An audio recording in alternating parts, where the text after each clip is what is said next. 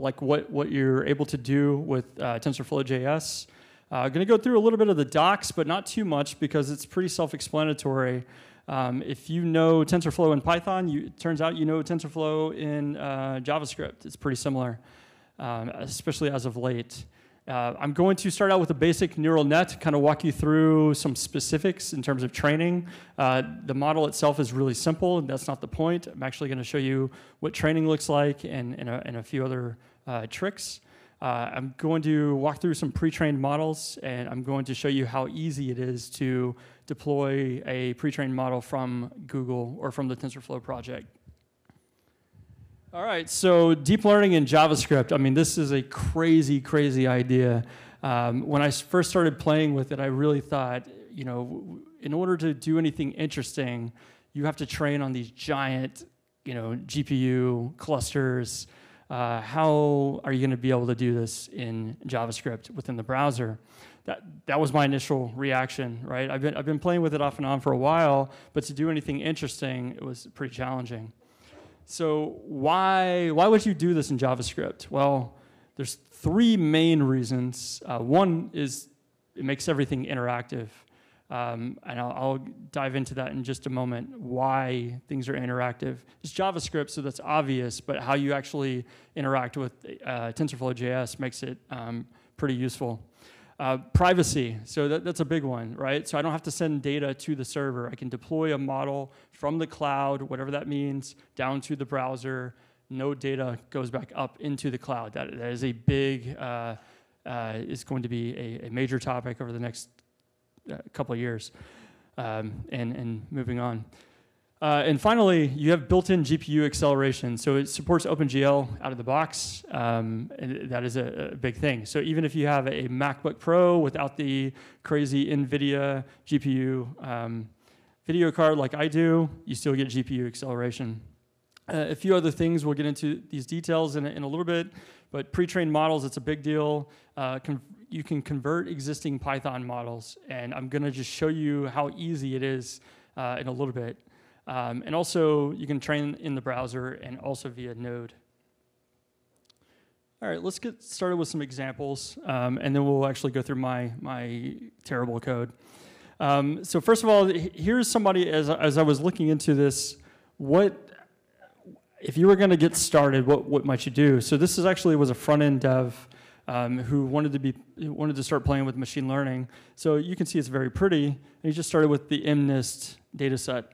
And so just simply put, you, you, you can interact with this TensorFlow JS model just simply by using your mouse and writing a number. And of course, you see that it's classifying correctly, and then it's got a pretty nifty um, output.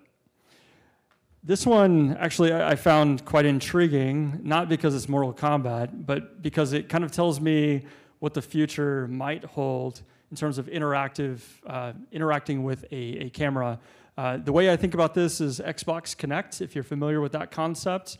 A lot of the things that uh, Microsoft researched out of Cambridge, all the cool things they did, turns out it's really easy to do that. You don't need Chris Bishop's team anymore to do some of the cool stuff. You just import from TensorFlow JS. It's that simple. So this one was actually pretty interesting because this got my brain like, you know, the, the gear is really firing up. Uh, so what, what's happening here is there's, there's actually several things. I actually have my notes here because I, I, wanted to uh, make sure I got it correctly. Uh, so, so there's a neural net to interpret the signs. So basically, instead of doing like language translation, well, it is language translation, but from his hands. Then text is sent to a speech system, also via neural net, um, and that is sent to Alexa. And you'll see this Echo right next to the computer. Um, and then let's see, speech to text system to tran transcribe the response from Alexa. And um, basically, Alexa is asking what, uh, you ask Alexa what time it is, and Alexa fires back, and then that there's also speech recognition on top of that. So all of the individual things that typically are associated with uh, computer vision or deep learning in general are all captured in one project. I mean, also, I think it's probably a, a potentially a very practical application. Uh, being not, you know, the Alexa piece, and eh, maybe not, but uh, the sign language interpretation definitely. This is the one that I think is the most exciting. Um, PoseNet, this I mentioned Xbox Kinect earlier. Um, this is actually what Xbox Kinect did very well. Unfortunately, the, the product itself flopped. Um, but you can see how straightforward this is. You can see that uh, the skeleton of each of the three people on the right and, and the one person on the left, um, the skeleton is captured pretty well. Those dots are actually capturing the two eyes, the cheekbones, and the nose. Uh, and you can, you can configure it a bit. But I, I, actually see a lot of applications here. I also see a lot of Big Brother-esque type applications. So some um, both good and evil potentially with, with PoseNet, and I, I think that's going to shake things up uh, in a little bit.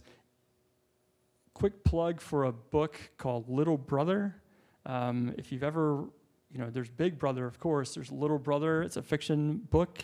It's about basically um, the government taking over, right? But actually using computer vision to make that happen. It actually uses something similar to PoseNet, which is kind of scary for using uh, gait analysis to uh, uniquely identify a person.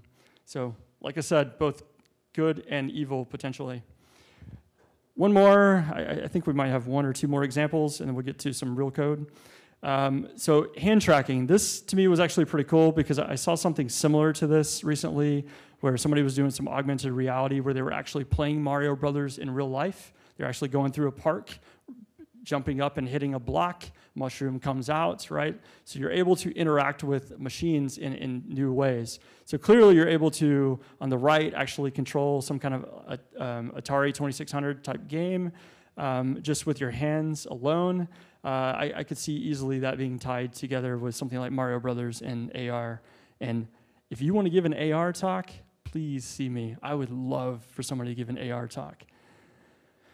Um, one final thing, and I'm not going to go through the details tonight. I was actually hoping to have something to show, but I, I, I failed miserably. Um, transfer learning is where I actually think a lot of the, the real possibilities are. The ability to de- build something in the cloud and then deploy it in the browser, um, I actually think that's going to be very, very useful moving forward. Um, let's start with one example. So it's a little bit more interactive. Hopefully you've seen this.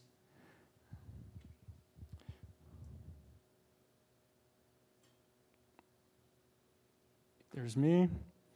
Okay, so the way this is going to work, if you haven't played with this already, um, I, I promise there's code. We're going to get to code uh, a few examples because I, I, was even just talking to everybody, and not, not everybody's aware of what you can do with TensorFlow JS. This is about a year old demo from Google. Um, if you hold your mouse down, it's actually training um, the green group or the green class. Okay, so you just hold it down and notice how it's, hopefully you guys can see that. Is it a little better? Okay, so just holding this down, it's actually recording over and over and over these different examples. And what's actually happening under the hood, so this is actually transfer learning. What is happening is it's taking a neural net and it's chopping off the head, right? And it's taking this image and feeding it through the network and it's transforming the, the features. Those features are then being fed into a k nearest neighbors, a really, really simple uh, um, nearest neighbors um, type algorithm so on the fly, you're actually having a classifier real time. So I'm going to change this up just a little bit.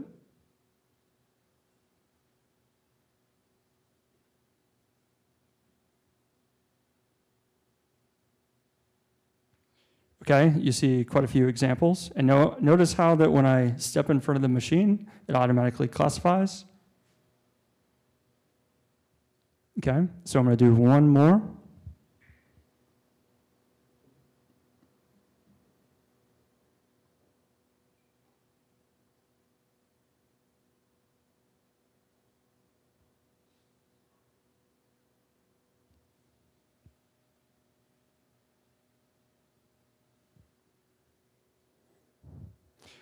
Okay, notice how when I step in front of the computer, it turns green. You see the, the cat over here.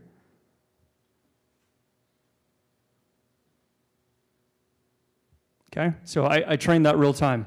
So what it did was actually map those images into individual classes, but the KNN is not trained on the actual uh, image. It's trained on a, a transform feature. Um, I think it's roughly 64 uh, dimensional vector. So that is transfer learning in action. So rather than trying to like walk you through it, I just wanted to show you this is actually what that thing does.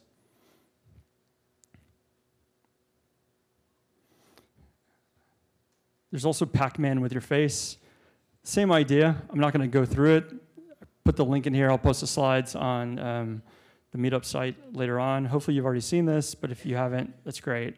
But just to give you a little bit of an overview, you do the same idea. You train, but notice this guy's head. Hopefully you can see it. Eh, it's not letting me zoom in. So this guy, he's actually tilting his head up. If he wants to go up with Pac-Man, go left, right, or down with Pac-Man. He's actually able to play Pac-Man with his head, or as I said in the slides, with his face. Okay, so TensorFlow JS 1.0, it came out um, one month ago, and a lot of improvements have been made. Uh, in particular, so I've actually included the, the link to the YouTube video here. It's about 13 minutes. It's pretty informative. Uh, the main thing is, is that the, the TensorFlow in Python and the TensorFlow in JavaScript are very, very similar now. Uh, in fact, I'm actually going to show you in just a moment how similar they are. Um, so not only does it feel like Python, there's also, um, if you haven't been following uh, in, in Python, uh, in TensorFlow 2.0, basically Keras is going to be the, the main way to interact with um, um, I, am going to choose my words wisely there. Uh, it will be a primary way to uh, interact with TensorFlow. And, and, there's a few other things that you have within Python's version of TensorFlow that you now have within the JavaScript version. In particular, this tf.data. If you're used to loading things with this new approach uh, in, in, in, Python, then it will be the same thing um, in, in, JavaScript. Uh, TensorBoard support and this TFJS viz. I'm actually going to show you what that means in just a moment. Um, so let's look at code. Um, so this is slide-based code, not real code, not yet. This is straight out of the README um, from TensorFlow.js. I wanted to show you, before we really get moving, how simple this is. So notice this is very Keras-like, where you have, so you're importing TensorFlow.js, and here's your um, your, your library. And you're going to access this sequential, and you're going to add various layers like you would normally do in, say, Python. So you have a one unit um, uh, dense layer just to do linear regression. And so you compile just like you would do in Python. And so your loss function here is mean squared error. And you're going to use stochastic gradient descent. You can use a bunch of other ones just like in, in Python, right? So you compile the model just like you would um, in, in Python. Where things get a little different is you start dealing with the JavaScript nuances, but really um, until you get deep into the weeds, it's roughly the same thing. So notice here you have one, two, three, four. These are your x's, right? And so what you're doing is you're turning that into a vector, um, so a 1D vector of length four, right? And so corresponding to those are your y's. So this is just doing basic linear regression. So if you were to plot this, you would have a scatter plot of 1, 1, 2, 3, 3, 5, 4, 7. And so here, what you're going to use is stochastic gradient descent and actually to fit that, that model. So this is the line I really want everybody to pay attention to. So if you're not familiar with JavaScript, this is where things get a little different. Um, this guy right here, model.fit, it doesn't return an object like you're used to if you're used to Python. It actually returns a promise so like asynchronous, um, it's an asynchronous call. So what a promise ultimately is, if you're familiar with say async IO or something similar to that in Python, it's somewhat similar. Um, so this guy right here, model.fit, you, you can't just automatically call uh, model.predict um, because if you were to attempt to do that in your JavaScript code, if things are not finished when you call model.predict, uh, some kind of error will be thrown. So this dot then really what you, to the newcomer, uh, so I'm not a JavaScript developer, so if I'm gonna offend you, apologies. Really, I don't care. Um, so this dot then, really what it's saying is that once, oops, once this thing is done, then you will take this action, right? So this model.predict, it's already in scope because I defined it outside of this block. That's an important, important detail. Um, model.predict, if I'm going to now take this linear regression I fit, I'm going to say at x equals 5, what is that prediction, right? Any questions so far? Okay. All right, let's look at the docs just a little bit. So there's a bunch of stuff, a bunch of tutorials. Don't really care about that. Uh, I, I, do want you to, to want you to see that um, built into the the uh, website itself, um, JavaScript is not a first-class citizen as of yet. Let me prove it to you right now. So I'm on the JavaScript page, right? If you were to go here, know, notice you can click API. I'm going to not do that. Go here. This actually confused the heck out of me over and over again. I was going, why is the, where's the, where's the JavaScript code? I was just on the JavaScript and it actually took me to the general purpose thing. actually got to click JavaScript. So if you, I'm not going to go through all the details here, knock yourself out on your own time. What I do want to show you is that the things over here, um, tensors, um, the sequential things, the, the, the model things, all of the code, I'm sorry, here we go. As you dig through this, my main point is to show you that once you learn the Python version, there's very little to learn about on the JavaScript side.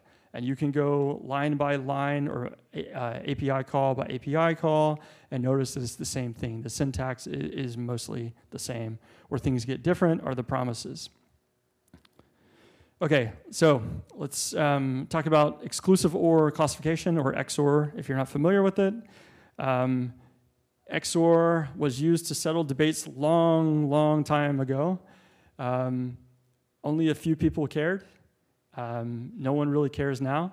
Uh, some people do. I had a professor in college who cared, and uh, he's 65, and that tells you everything you need to know. Sorry, I didn't mean to be ageist. It was just him, not uh, whatever. Apologies. Um, so something about linear regression can't touch this. That was actually the main uh, debate at the time, and uh, you know that was an issue back before you had transforms, uh, because there are a bunch of other ways to do this. Uh, but of course, no one really thought about that in the 40s, 50s, 60s, whatever. Okay, so exclusive OR. If you were a computer science major or an electrical electrical engineer major or something similar, you've seen this in spades. Um, but if you haven't, let's go through this. So what you're ultimately doing with an XOR table is you have two inputs, x1 and x2. If they're both off, so zero means off, just like in binary, like a, a, a bit. So if both of them are off, then your target, your output is off, right? This is an XOR gate. And so notice that if both of them are on or both of them are off, they map to zero. And if both if one of them is off and one of them is on, they map to one, right? So I'm assuming everybody has seen this, but if you haven't, um, there you go. That's not really going to get in our way very much. Um, oops, that was a little bit out of order. Um, ultimately, what I'm going to do here is I'm going to use Create React App. If you haven't used this, this will get you started. I highly recommend everything you do getting started, you just use Create React App. You don't have to deal with the JavaScript nonsense. Okay, let's get started with actual code. Um, can everybody see my screen?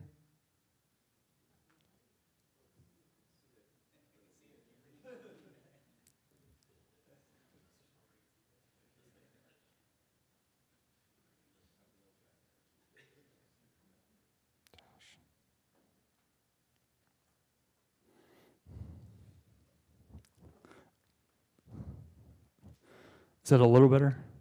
Okay, good.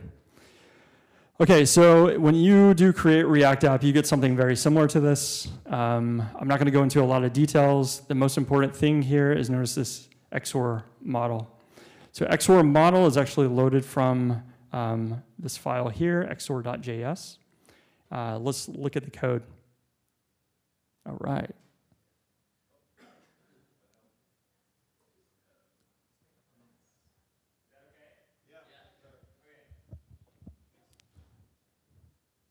Cool.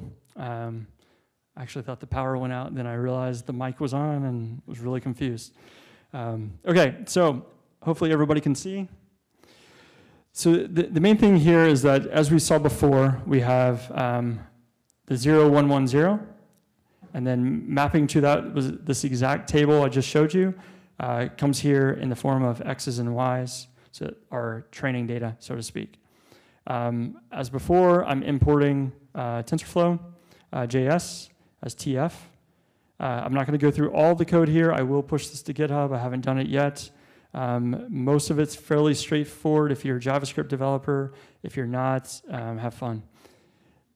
So let's look at the, the, the main bit of code. Um, so here, what we're ultimately going to do is notice you see this async uh, function. Come back to that in just a moment. Uh, we're going to take those x's and we're going to assign them as uh, training data. And then we're going to one-hot encode the 0110. We're going to build a really simple model here, right? So we're going to, like I told you before, this is pretty similar to uh, normal, usual TensorFlow code. Um, so notice I haven't done anything too fancy um, in terms of the, uh, the, the uh, network itself, right? So one hidden layer, um, five hidden units, apply a sigmoid activation, excuse me, right? The input shape is two-dimensional because we're going to either pass in 1, 1 or 0, 0 or 1, 0, et cetera. Uh, and then finally, we're going to classify either 0 or 1, right? Um, I'm going to use Adam Optimizer, and this is actually very similar to what we just saw in the README, right? So we're going to compile that, and now we're going to start noticing a little bit of a, a difference from what you've seen in Python. Python. Okay, so notice this await thing, that, that's asynchronous. So before I told you um, we're gonna call model.fit, right? And so that's gonna train like you're accustomed to. Uh, I'm gonna use validation data. This is the old school technique on exclusive OR. Uh, notice my training data and validation data are the same. Okay, so that is by design. That's not like trying to cheat or anything. The goal here is not classification accuracy. It's just an old graybeard debate. All right, so um, there's a callback here. So a callback, what, what you should think, um, if you're not familiar with this concept, at the end of every epoch, this function is going to be called, or this closure technically. Um, I'm going to send in the epoch information as well as a, a bit of uh, information about the logs. In console log, I'm actually going to write this to the browser. So the, the epoch, this is actually the epoch number. And the loss, I'm going to write the validation loss and the val validation accuracy to the console window. All right? The final thing here, kind of jump down. So if you're not familiar with React, you have this concept of a render, render function. Um, I'm going to have a button. So this is mostly HTML, but it's not quite HTML. Um, when, a, when this button is clicked, there's going to be a method called train model that's going to be called, and we're going to go to it in just a second. And once that model has been trained, I'm going to show a few other things, and that's what this is showing. It'll make perfect sense uh, when we actually go through um, this exercise. But before I do, when this button is called, or a button is clicked, um, train model itself will then be, um, this will be invoked immediately. And notice it's asynchronous, right? So everything down the chain is asynchronous. That's the important part. So what this is saying is that I'm going to call my train method, the thing that we just went through, right? And that's going to take a while. I don't, I, am not going to block on that thing. Otherwise, the browser would just come to a standstill. Um, so this thing is going to just run a little bit because I, I, want my UI to continue to run. When it is done, I'm going to take that fitted model and I'm going to just log it to, the, to the, the, the console window just so I can inspect it if I want to. And then what I'm going to do is set the state. So I, I, have a very minimal state for this basic app. And I'm going to take that trained model and add it to the state. All right. Okay, so once you've installed everything, um, it's pretty straightforward to do that. Um, this is a Node app, so I'm going to click npm start. Okay, so notice the, the app is launched in my browser.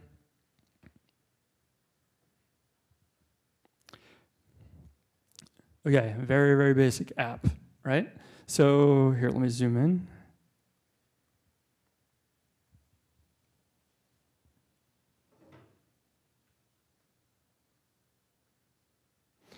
Okay, so this is an exclusive order model with TensorFlow JS. To get started, just click on the, the train, right? So this is a very simple example. So um, we're gonna do it a couple times. This is pretty fast, but you're gonna see what's gonna happen.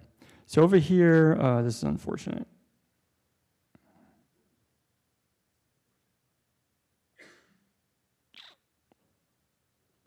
I have no idea how to zoom in on this.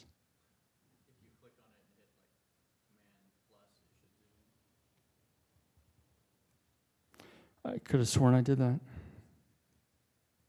Okay, we're not, not going to go through all of this. The, the, um, that, that callback we were looking at just a moment ago, notice you have Epoch 91, Epoch 92, Epoch 93, and you see that the validation loss is decreasing over time. So this is useful for logging, right? Um, but not going to be very useful to make sense of real time. So, I mean, what I can assure you is starting off, my valid validation accuracy was 50%. Validation loss was fairly high with respect to how, how much we maximize. Started out at 0.73, dropped down to 0.006, right? So we're going to revisit that in just a moment. So now that I've trained this, I'm actually going to make a classification, right? So what should the answer be? Yeah, very good. It worked. Yay. Okay. Uh, zero, one. What should the answer be? One. Okay, good. All right. Just to confirm,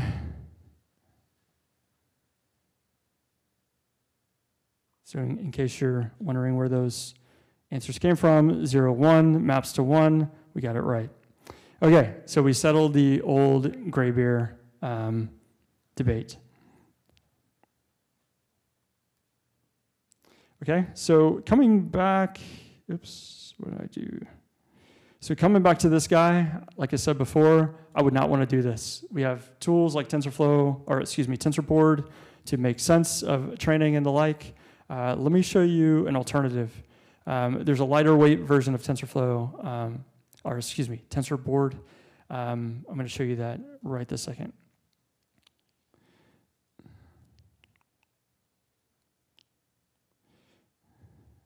Okay, so before I said we have this XOR model, right? That's my React component. Um, I'm going to, oops.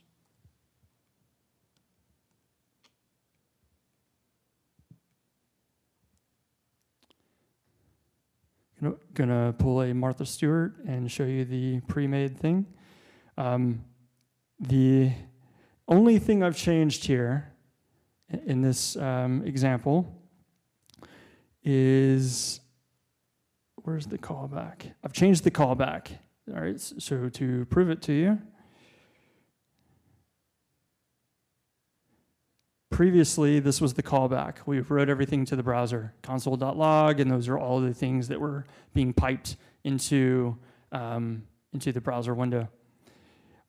The only thing I've changed here is I've changed the uh, callback to tfvis, and I'll, and I'll, specifically call that out in just a moment. A uh, couple more details, how, how do you import it and the like. Turns out it's pretty easy. What I'm going to do is I'm going to uh, create a tab called training. And within that, I'm going to put training history. The two things that we were just looking at, validation loss, validation accuracy, as well as loss and accuracy. These are test uh, scores. To import that guy, all I did was add this line. Um, import tfvis from tfjs-vis. And so this was actually a recent addition uh, in TensorFlow JS 1.0. Okay, so just one more time. The only thing I've done is added that. There's actually a couple buttons I've added too, but you'll um, see that in just a moment. So tfjs-vis has this thing called a visor, right? So I'm going to um, overwhelm you.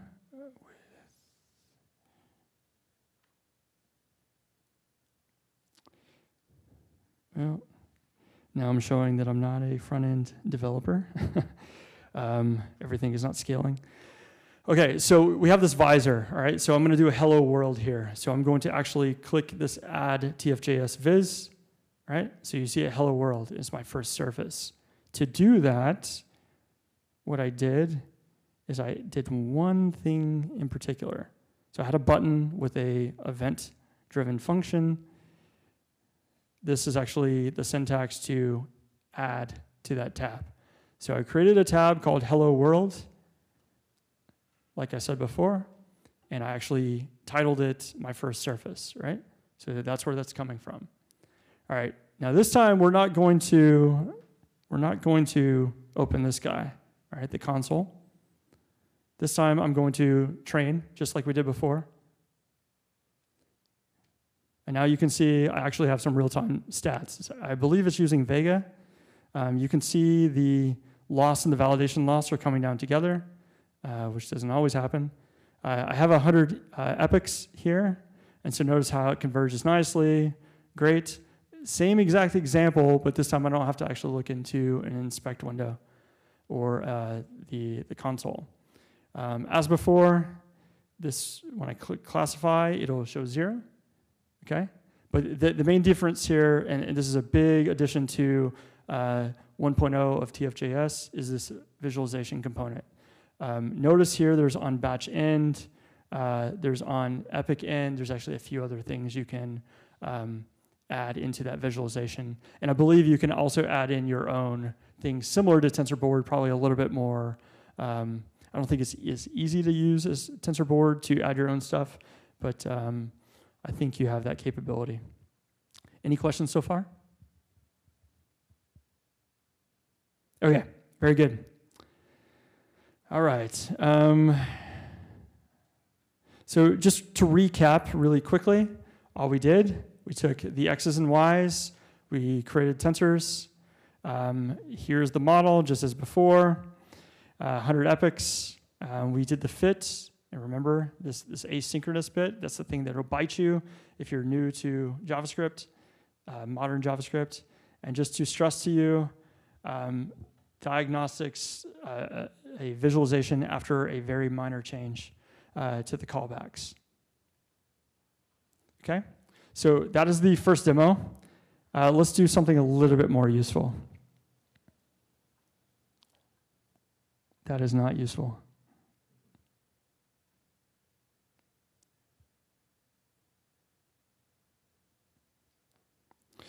We're going to um, look at a, a um, pre-built um, classifier called MobileNet. Um, what it is is a, a trimmed down version of one of the ImageNet um, um, deep neural nets. So I, I, I, actually meant to include it into the slides. I actually forgot. Apologies. Um, the standard type architectures now, the weights themselves are about 500 meg in size. Um, if you're on a mobile app, you're not going to want to download 500 megs onto your mobile device uh, before you can do basic classification of an image. So what they, what uh, some of the Google folks have done, they've worked on something called MobileNet, and this is about 14 megs in size as opposed to 500 megs. It's not as good of accuracy, but it's pretty close. Um, so the goal is to make this, you know, it's in the name, is to make it a mobile-friendly thing, but still, it's 10 to 15 uh, meg, which um, for my hardcore front end folks, that is way too large. So potentially there's room for improvement. Um, it's going to be very tough, I think, to get something that's that much smaller than 15 meg. Okay, so um, let's actually start with the example.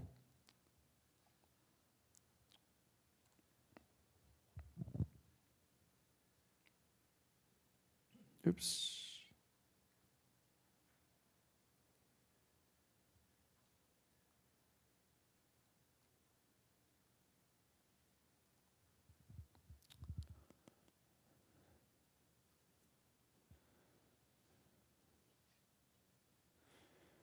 Okay, so I'm gonna, going to show you something very, very specific, right? So imagine you're on a mobile device or you're on your laptop, you're waiting for the uh, neural net to download to your machine, right?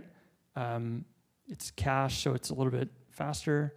But notice it says loading mobile net model. I can't do anything until that thing is loaded. I'll say more about that in just a second, right?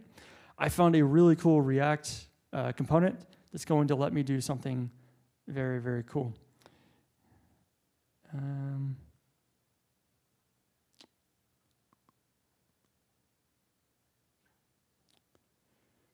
okay, so the first thing here is I'm going to take this picture of a dog, right?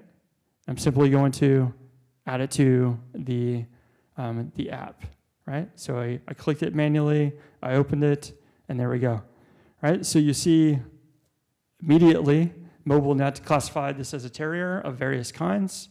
Um, the things over here, these are probabilities. So the highest probability um, image class is the Norfolk Terrier, uh, a few English uh, terriers here. Okay? So I don't want to sit there and click that guy. Here's a picture of my car. Um, I'm very proud of my car. I love my car very, very much. Um, my top speed is 132 miles per hour on MoPac. Um, I'm not kidding. uh, I haven't pushed the envelope past that just yet. Uh,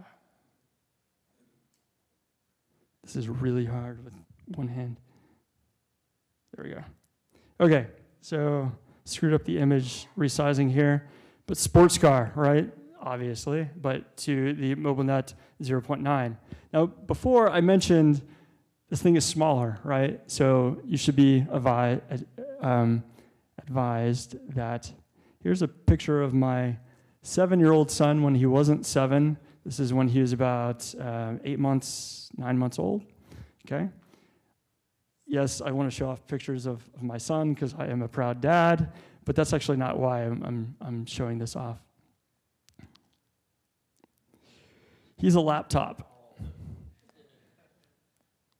So the, the main thing is you need to draw from this is even a person, right? You would think, okay, maybe if you have some kind of weird object or something that's not in the ImageNet, um, you know, the, the thousand labels in that data set, you would think, okay, all right. But this is a person. Um, but it thinks my young son is a laptop. Okay. Here's the GitHub unicorn. If you've ever seen this, I'm sorry. This is usually when bad things happen. Okay, it's a comic book, right? But the one thing to stress to you is see how fast it is, right? This, in the browser, you can see how this is pretty useful. We're going to go through code in just a second. Um, this is one of the coolest things I've ever seen. Uh, this is a unicorn boat from Costco. It was $199. I nearly bought it as a team building exercise uh, for Novi. I did not buy it. I'm very sad. Um, okay, let's see what that one is. It's a lighter and also ocarina. Um, those are pretty close. And then maybe an electric guitar.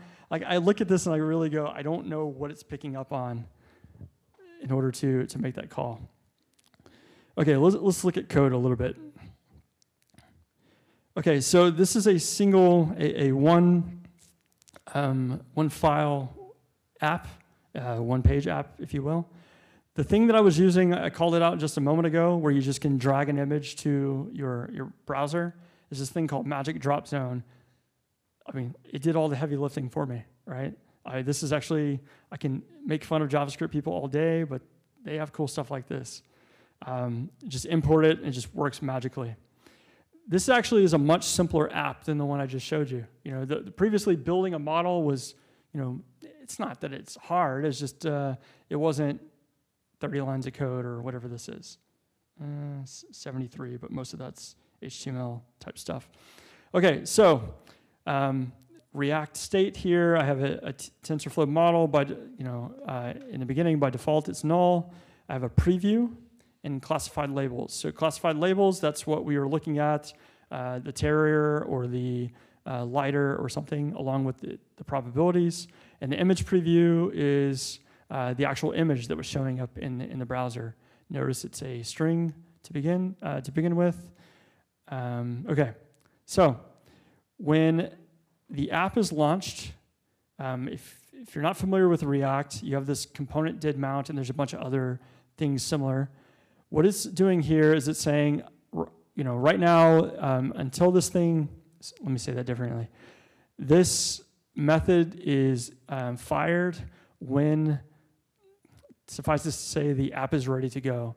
Uh, at that point, the um, mobile net itself will be loaded, right? So again, this is a promise. So mobile net, mobile net.load, right? So if I were to replace mobile net with some other classifier, say VGG16, that's a much bigger object, right? So it's going to take quite some time to load this guy, right? It is smaller, so it doesn't take that long to, to load, but still, if you're on a, on a mobile device, it could take quite a bit. So here, everything is just kind of waiting, right? So let's come back here. I'm going to show you again. It says loading MobileNet model, right? It's waiting, and now it's done, right? It's because I'm not on my, my phone, and I'm on fast Wi-Fi.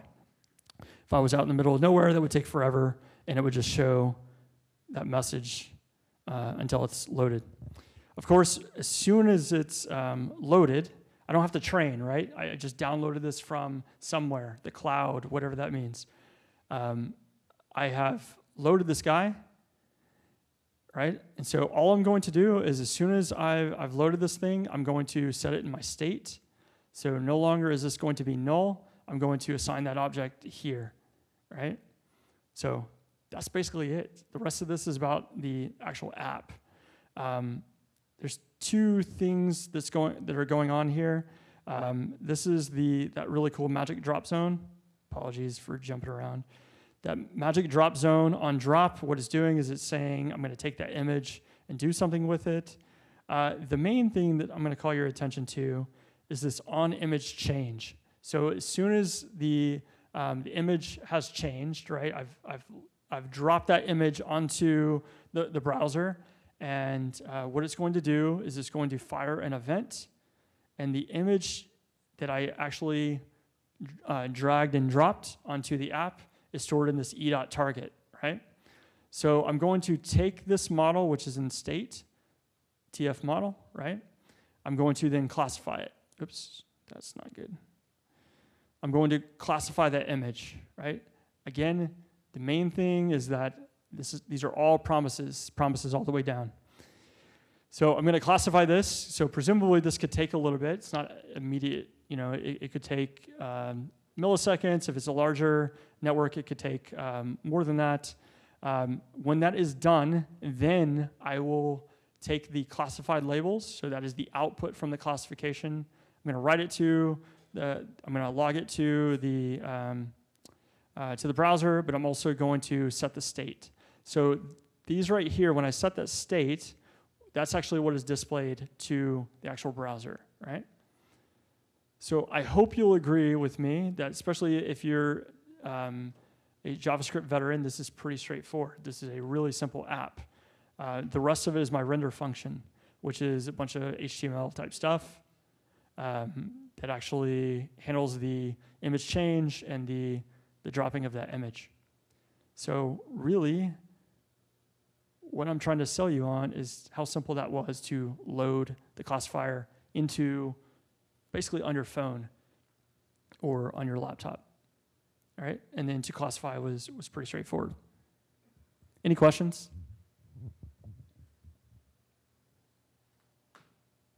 Cool.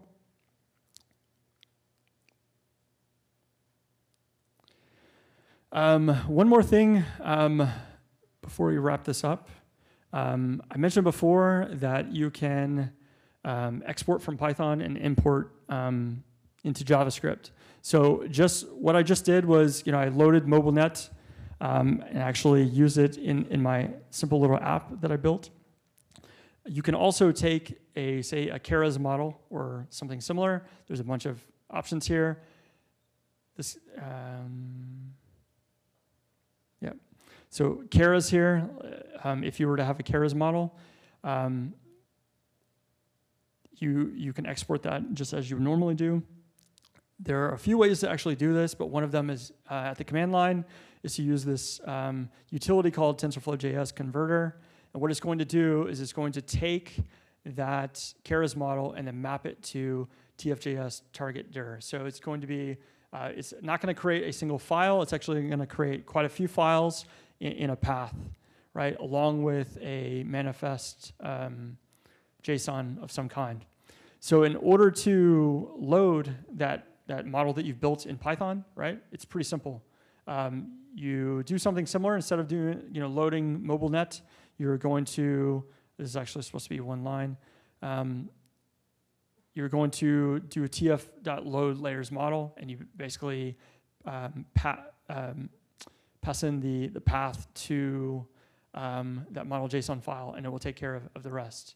So th that actually makes it quite simple. You can actually, uh, this can be um, some kind of URI, so it can be HTTP colon backslash uh, backslash um, Novi Labs uh, slash um, MobileNet uh, replacement model or something like that.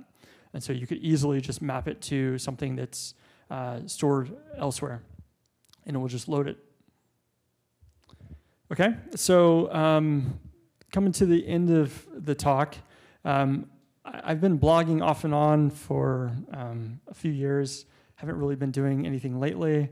Um, so next couple steps is I'm going to take a bunch of this information, kind of kind of can it down into a, blog level. Also do some YouTube on the same stuff. Um, what I'm actually looking at, because I've actually been doing a little bit more than what I showed you today. Um, my son is seven years old. Uh, we went on a very long road trip. Uh, if he would have asked me to play rock, paper, scissors one more time, I might have uh, left him wherever we were. And uh, so I decided, you know what, I'm actually going to make an app that will, will do that. Um, he can play rock, paper, scissors against the computer on my computer, uh, on my computer using a webcam. So it's pretty similar to what you saw with the transfer learning thing. Um, I was going to talk about it tonight, but I realized it's a little too ambitious to go through all that material. Um, so, and there's a few other things that are pretty interesting for the more advanced um, user. Okay. So, questions?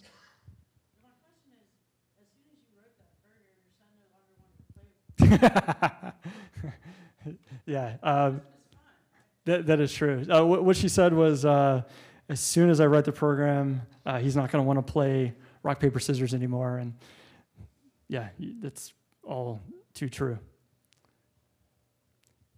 Yes, sir.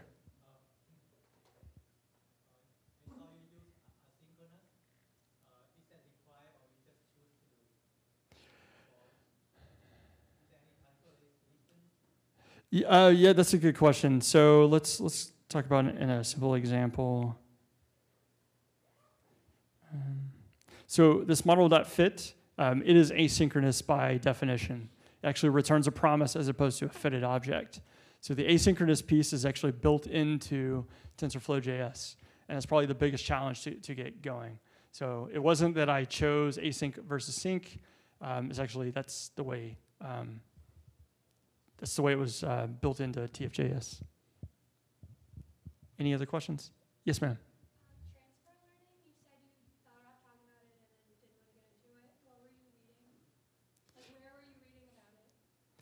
Um, so let's, the thing I showed, um,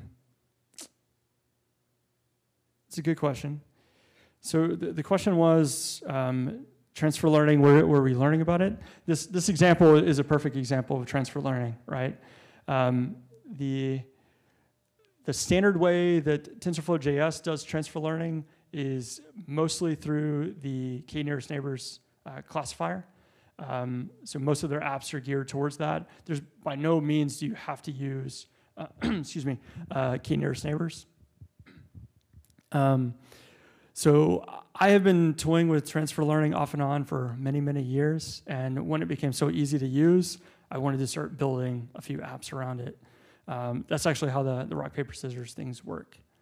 Um, in terms of other things, uh, I think historically transfer learning has been pretty opaque. uh, mostly in like uh, esoteric literature. I think that's becoming no longer the case. Does that answer your question? Okay. Um, okay. Yes, sir.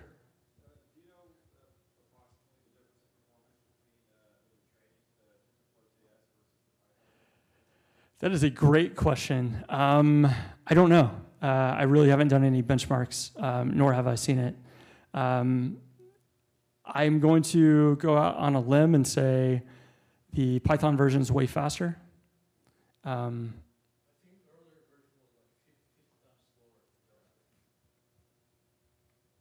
yeah, there you go. A buy new. 50, 50 times slower. I'm, I'm standing by that one. No, 50 times. That's what I heard. yeah, exactly. I'll put it in the. In, in, I'm going to add another slide. Abai said 50 times slower. Uh, any other questions?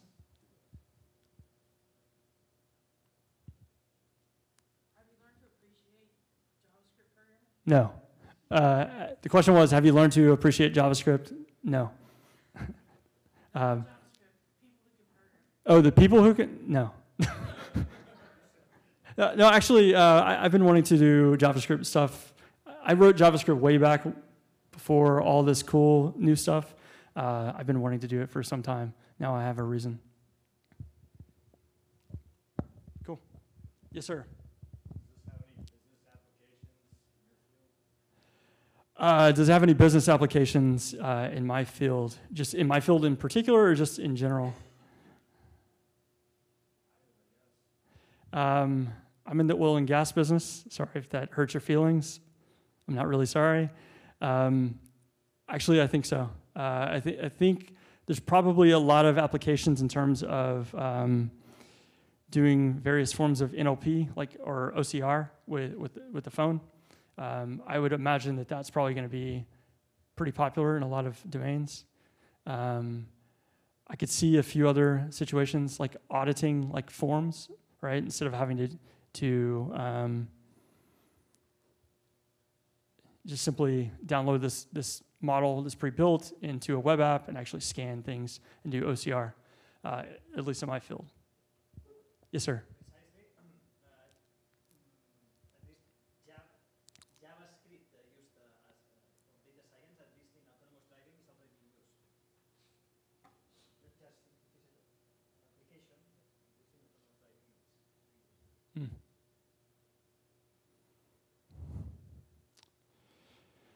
Okay, so if there are no more questions, um, if you're, oh, a couple.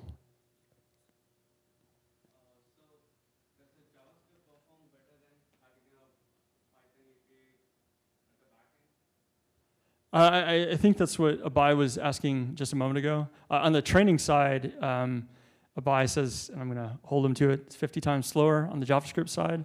On the prediction side, I don't think the latency is that much different. I mean, clearly the Python version is going to be faster, but I don't, like practically speaking, unless you're, you have high throughput, uh, I don't think it's that much slower.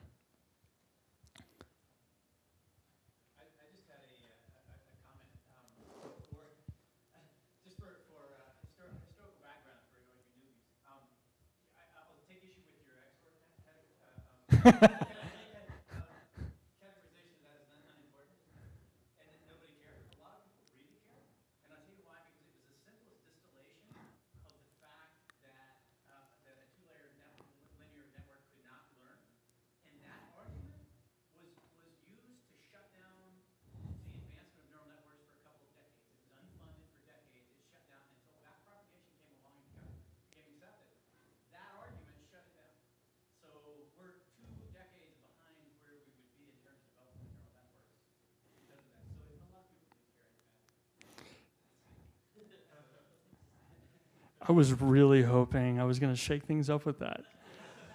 Appreciate the history. Um, so, if you don't know me very well, I like to troll everybody, um, and I like to troll some more than others. Okay, uh, appreciate the, the input. Uh, you are spot on. Um, I'm only being provocative.